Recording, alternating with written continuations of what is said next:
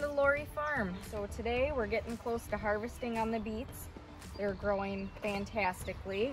I got a few really good sized ones right there that we'll probably harvest in the next couple of days because like I said, I like them a little bit smaller because they taste better, uh, a little more um, sweet. The good thing about beets is you can eat actually the whole plant. You can eat the beet root, which most people are used to, and then the leaves you can make a salad out of.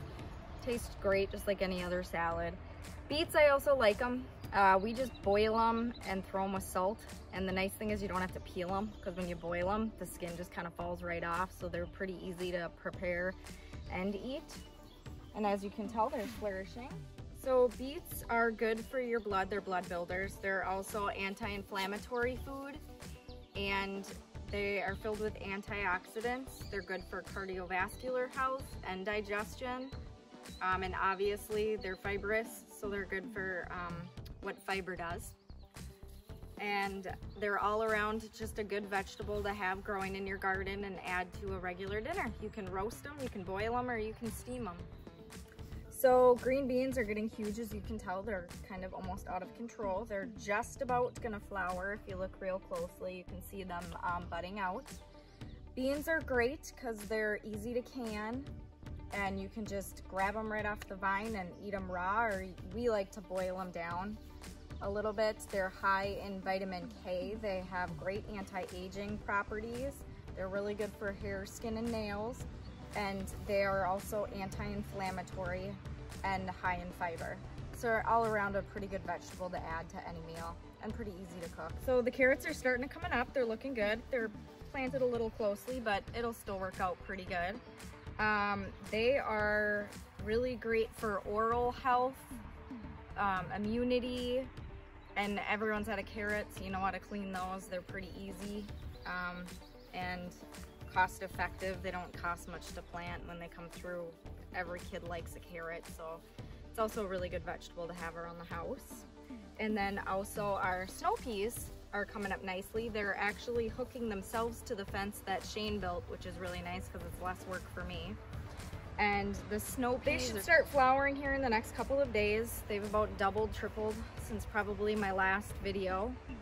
Um, those are high in fiber also, and you can eat them raw, just pull them right off. My kids like to pop them open and eat the pods, but you can eat the whole thing. Dip them in ranch, they're pretty good. Uh, this week I also got a walking onion, which to be truthful, I don't know a whole heck of a lot about. Um, a friend gave them to me. They're actually really cool plants.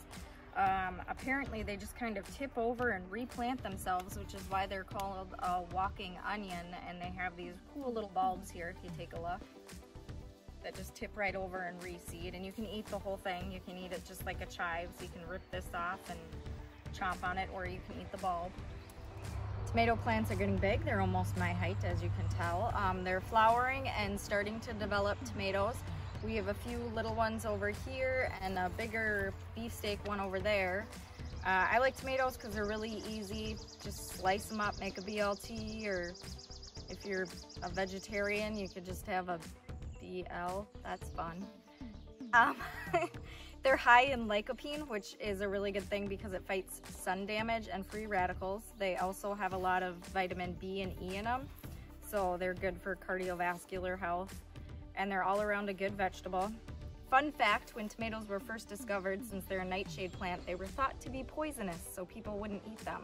But actually, they're quite delicious and come in many flavors. So the potatoes are growing real tall and um, they're starting to flower.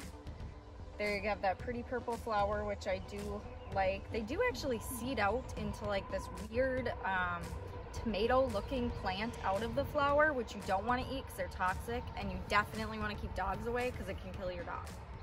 Anyways, you hill them weekly generally. Sometimes you got to hill them twice a week depending on how big they're getting. Uh, we're in the back garden. So this has our zucchini, cucumbers, and pumpkins. The zucchinis are growing quite big. We have a few right in here, as you can see, starting to come through. Zucchinis are really good because they can help control thyroid um, function and also lower cholesterol. They're also good for people who are asthmatic. And they're all around a pretty good vegetable. They're high in a lot of vitamins, fiber. They're easy to cook. You can eat them raw or you can bake them. You can just toss them into a salad. You can make zucchini bread, zucchini cupcakes, cookies, really anything like that. The smaller they're harvested, if they have like the flower still attached, they are the more flavorful. So a lot of like um, restaurants and stuff will buy them smaller because they're more flavorful. You can eat them at any size though. I notice a lot of people like to buy them bigger because they feel like they're getting their money's worth so you can make a lot more with them when they're sizable. And when they're bigger, you can also make like little mini um, pizzas and stuff with them, which is kind of fun. So we're in greenhouse number one where I planted beets and green beans. They're all doing pretty good. They're a couple weeks behind what we planted out there, but they're still catching up really well because of the greenhouse and trapping in the heat and humidity. So we're in greenhouse number two where I have the peppers and the yellow squash. The peppers are haven't really grown a whole lot in height, but they are flowering quite a bit. And also we have a couple peppers growing. I don't know if you can see them here. Um, so we have a few different varieties and they're all taking pretty good. We did just transplant them so it's going to take a little bit for the roots to kind of take hold and I suspect in the next week or two they'll probably double in height. We have unfortunately had a lot of rain and it's been really cold at night so that really doesn't help too much. Welcome to the Chaos Garden. So Shane was shooting another video so he um, plowed up this field and kind of tore it all up. And we really didn't have much plans for it besides to show what you'll see in that video, so look for that in the next week. Um, so we decided, you know what, we got a bunch of extra seeds and nowhere to put them and they're, you know, they don't last super great.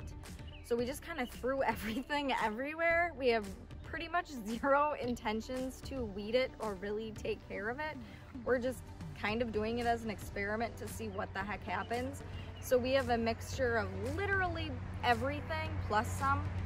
So we have corn, we have extra pumpkins, we have cilantro, I even put some asparagus down, extra cucumber seeds, I think a few cantaloupe seeds, pumpkin seeds, uh, giant dill, mammoth dill, some basil, and some tomatoes even, I think, and some more snap peas. So it'll be interesting to see if anything comes up and what it looks like. I'm hoping we get just a crazy mixture of stuff that makes it worthwhile, but if nothing shows up, what the heck? Well, thanks for watching, and remember to like and subscribe, and we'll see you at the next video.